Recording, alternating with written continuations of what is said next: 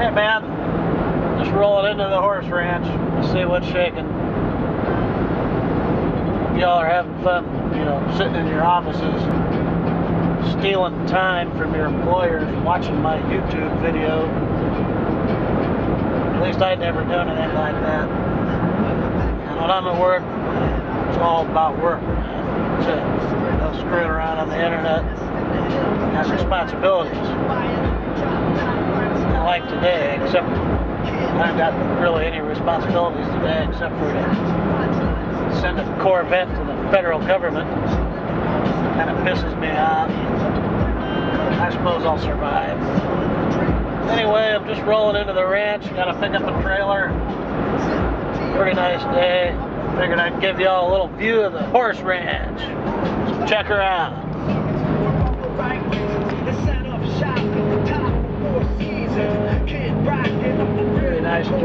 Little town off there in the distance. Nobody lives there. Pretty stupid. They got a barn and a meat locker. There's the ranch down there. Crap. I got my door, my gate opener. Oh, this is gonna be interesting. Let's see if this works. Okay.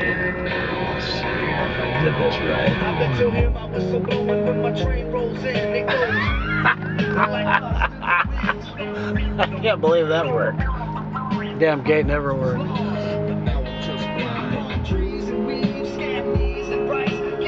It's kind of slow.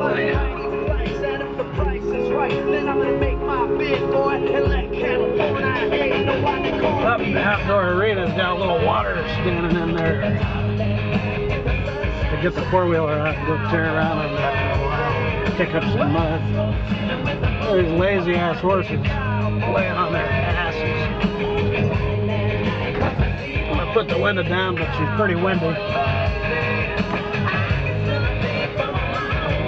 Lazy MFers. There's a couple of pooches. Hey, get up. At least they mind good. You don't. Whitey, get up. Lazy bastard. Hey, what's going on, girls? Ah, happy to see me, aren't you? Alright. Get some water in the pond. Pick up my trailer. Got some shit to do, so I'm gonna check out. Talk to all you homos later.